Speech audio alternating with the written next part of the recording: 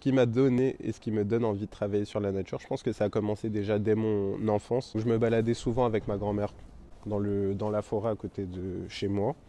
J'habitais en banlieue, du coup il n'y avait pas vraiment d'espace euh, de, de, nature. Il y avait juste un parc où j'allais tout le temps, où ma grand-mère m'amenait tout le temps et j'étais hyper content. Ça m'a beaucoup marqué. Je voyais vraiment uniquement les troncs. Et je pense qu'il y a ce rapport aussi très enfantin qu'on retrouve beaucoup dans mon travail, dû aux matières, utiliser la bombe, l'huile. Il y a énormément aussi de couleurs et de laisser aller aussi. Je me défoule beaucoup, d'où la taille des grands formats.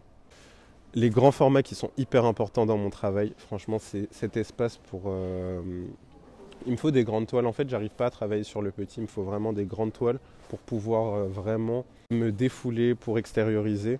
Et euh, même les grands formats, je pense que ça, ça capte vraiment le, spectateur. Il est vraiment plongé dedans et c'est vraiment l'immersion qui m'intéresse dans le travail. Il y a une, euh, une, infinité de possibilités de peindre. Et je pense que le sujet de la peinture et de la nature, il mourra jamais. Il y aura toujours une évolution, même au fil euh, du, temps.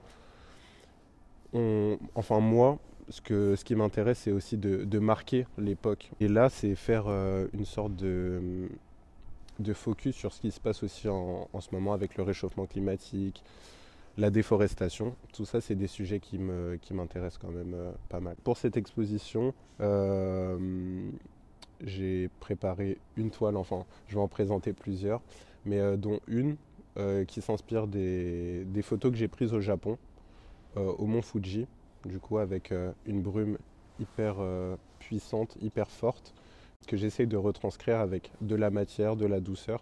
Et mon travail, il est quand même composé de beaucoup de contrastes, lisse, matière, brume, avec euh, des, matériaux quand même assez durs, donc la bombe.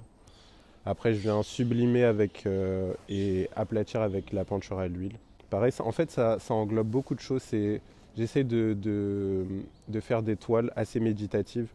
C'est des sortes de fenêtres pour se poser vraiment, être, euh, rester 10 à 15 minutes devant. Il y a peu de choses, mais elles sont complètes. Pour celles que je viens de commencer, je travaille, euh, je fais déjà les fonds. Donc euh, je, prends, je prends vraiment beaucoup de plaisir à faire ça. Euh, à la bombe, du coup j'en, je passe déjà des premières couches. Après je vois si ça me plaît. Et puis après j'enchaîne avec la matière. J'ai pas de croquis, je fais tout de tête. Et après j'ai quelques photos aussi dans mon téléphone des fois pour m'inspirer. J'ai un travail de recherche quand même assez poussé.